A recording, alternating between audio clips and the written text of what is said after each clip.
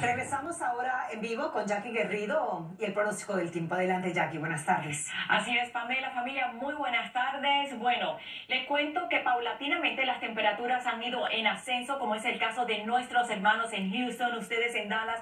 Así que por aquí vamos a una mejoría, aunque todavía estamos sintiendo condiciones extremadamente frías. Es el caso en el norte del país. De todas formas, para mañana miércoles estamos hablando de 10, 20, 30 grados por encima de lo normal, lo que es el caso para el sureste del país. Mientras tanto, la fuerte acción, señores, a esta hora de la tarde, a las 5 de la tarde, hora del este, actividad de nieve más bien para ustedes en Upstate Nueva York hasta Boston. Por aquí nos esperan fuertes acumulados. De todas formas, como que cierto dolor de cabeza para las personas que tienen que transitar en estos momentos. Actividad de nieve en el norte del país, pero tenemos las fuertes condiciones invernales que también para el día de mañana se van a hacer sentir. No estamos hablando de esas condiciones invernales invernales tan fuertes como la que ya ustedes en el noreste del país, bendito Dios, han experimentado. Por aquí en la costa oeste, en el estado de Washington, hasta Montana, sí tenemos pues avisos y alertas. Continúa el invierno, señores, hay que tener mucha precaución.